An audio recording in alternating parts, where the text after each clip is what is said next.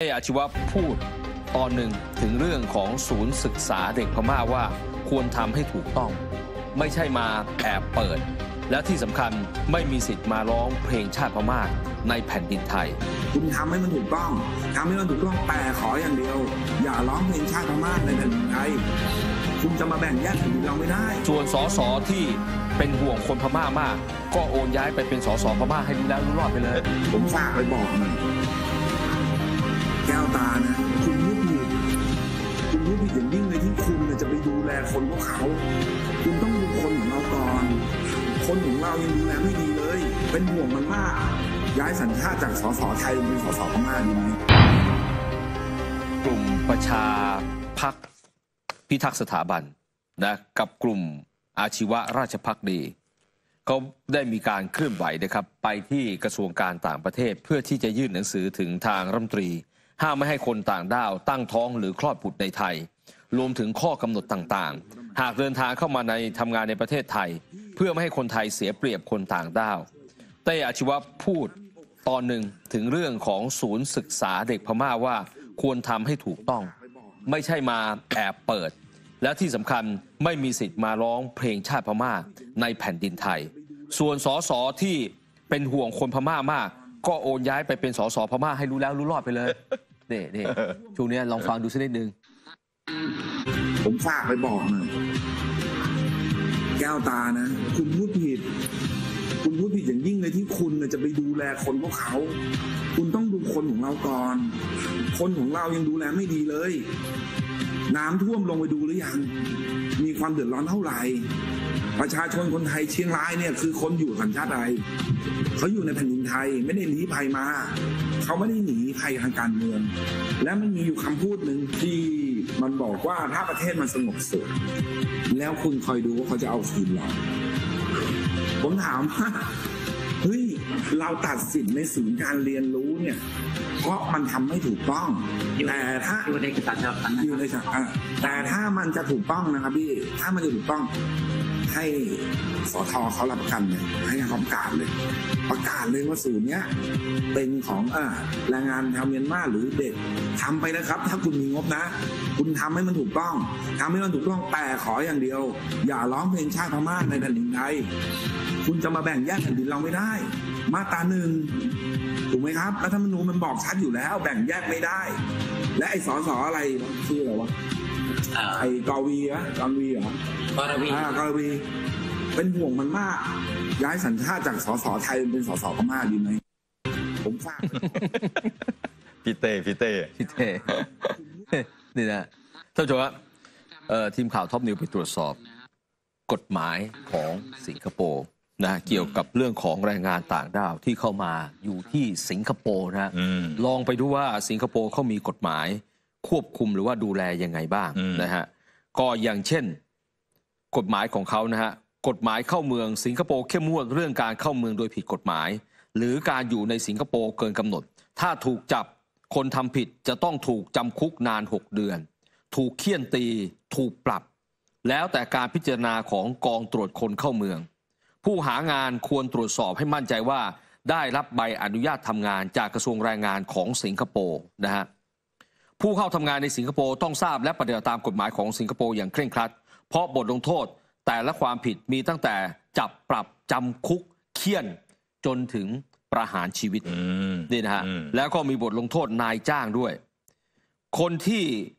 เข้ามาทำงานในสิงคโปร์และถือใบอนุญาตทำงานประเภท work permit ต้องศึกษาข้อปฏิบัติที่แนบท้ายใบอนุญาต เช่น ห้ามทำงานกับนายจ้างคนอื่นนอกเหนือจากที่ระบุในใบอนุญาต ห้ามมีความสัมพันธ์ด้านชู้สาว หรือมีบุตรกับชาวสิงคโปร์โอ้นี่นะฮะโอ้โหรวมๆแล้วเนี่ยเอ่อถ้าเปรียบเทียบกับสิงคโปร์แล้วประเทศไทยถือว่ายืดหยุ่นกับแรงงานต่างด้าวมากนะฮะเออเราก็จะเห็นในหลายพื้นที่หลายชุมชนเอ่อชาวต่างด้าวย้ายถิ่นฐานเข้ามาอยู่ในไทย แล้วก็โอ้โห เปิดร้านค้าเองก็มีมีลูกมีหลานเองก็มีนะเราก็เคยจับได้ ใช่ไหมวันก่อนที่จังหวัดอะไรอะ เป็นร้านที่ขายของพม่าอะไรอย่างเงี้ยอืมใช่ไหมขายของเลยนะตั้งเป็นร้านขายของชำแต่มีแต่ของพม่าที่เอาเข้ามาขายทั้งนั้นนี่หรืออย่างของเขาเนี่ยตั้งแต่ข้อแรก ถ้าเข้ามาเข้าเมืองโดยผิดกฎหมายนะฮะอยู่ในสิงคโปร์เกินกว่ากำหนด ต้องถูกจำคุก ถูกเคี่ยนถูกปรับ แต่ของเราเนี่ยพอลักลอบผ่านช่องทางธรรมชาติเข้ามาปุ๊บ เราจับได้ปั๊บโอ้โหตำรวจต้องไปซื้อข้าวมาให้กินก่อนใช่ไหมแล้วค่อยผลักดันเขาออกไป เออนะเห็นไหมประเทศเรานี่มันแดนสวรรค์จริงๆนะใช่เขาถึงหลั่งไหลมาเห็นไหมใช่กฎระเบียบอะไรไม่มีเลย อืมเห็นไหมสิงคโปร์นี่เขาแบบเข้มเลย เออ ต้องเข้ามาถูกกฎหมายนะและถูกกฎหมายแล้วเนี่ย คุณเข้ามาสามีภรรยากันเนี่ยนะเออคุณจะไปมีชู้ คุณจะไปมีกิ๊กไม่ได้ด้วยนะ อืมและคุณก็จะมามีอะไรกับคนสิงคโปร์ จนตั้งท้องไม่ได้ด้วยนะไม่ได้ด้วย เออ อันนี้สมมุติแบบ สมมุติแบบเป็นนายจ้างสิงคโปร์เนี่ย แล้วก็จ้าง จ้างลูกจ้างแม่บ้าน อืม ชาวพม่าอืม ใช่ไหมเข้ามาอยู่อืม ในบ้าน แล้วพ่อบ้านเนี่ย ดึกๆ จะแอบลงไปกุ๊กกิ๊กกับแม่บ้านพม่าเนี่ย จนเธอตั้งท้องเนี่ยไม่ได้นะ ไม่ได้เลยเห็นไหมไม่ได้กฎหมายเขาเออ ห้ามไว้เลยนะ อันเนี้ยโอ้โหใช้ในเมืองไทยลำบากเลยนะ ใช่ไหม ใช้ในเมืองไทยลำบากเลย ประเภทแบบดึก ๆ เดี๋ยวพ่อบ้านลงมาให้เออแม่บ้านคนใช้ชาวพม่าบีบนวดหน่อยบีบนวดไปบีบนวดมา เป็นเรื่อง อันนี้ผิดกฎหมายเลยนะอืม เขาเคร่งครัดขนาดใช่นั้นนะ แล้วทางสิงคโปร์เนี่ยยังเคี่ยนนะ ยังมีการเคี่ยนนะฮะเราก็เคยเห็นในคลิปนะฮะเขาตีอะตีก้นอะ ใช่โอ้โหเขายังใช้วิธีเคี่ยนอยู่นะ ใช่ แล้วถ้าเกิดโดนลงโทษศาลตัดสินโดนลงโทษเคี่ยน 20 ทีเนี่ย ทีที่1กับทีที่19 20เนี่ย แรงพอๆกันเลยนะ ไม่ตกเลยเหรอ โอ้โห ไม่ตกเลยอะโอ้โหผมเห็น ผมเคยเห็นคลิปเคี่ยนเคี่ยนผู้หญิงหรือเคี่ยนผู้เคี่ยนผู้หญิงอะเคี่ยนแล้วแบบ แต่มีให้พัก มีให้พักเอ่อมีให้พัก สมมติเคี่ยนสิบทีเนี่ยเคี่ยนไปแล้วห้าพักเดี๋ยวโดนอีกห้าแล้วมาทีที่หกเจ็ดแปดเนี่ยโอ้โหแรงเท่าเดิมเลยอืมอืมโอ้โหแบบ คือมันคงจะเป็นตามกฎหมายเลยว่าต้อง แบบเงื้อมมือแค่ไหนยังไงอะอืมอืมไม่มีการช่วยกันอะไม่มีการช่วยใช่เห็นไหมฮะสิงคโปร์ชาติที่เจริญแล้วนะ เวลาจัดอันดับอะไรก็ตามแต่ตัวเลข ทางเศรษฐกิจการค้าการขายเนี่ยติดอันดับหนึ่งตลอดใช่ไหมฮะในขณะเดียวกันในเรื่องของเออการถูกวิพากษ์วิจารณ์ว่า โอ้โหป่าเถื่อน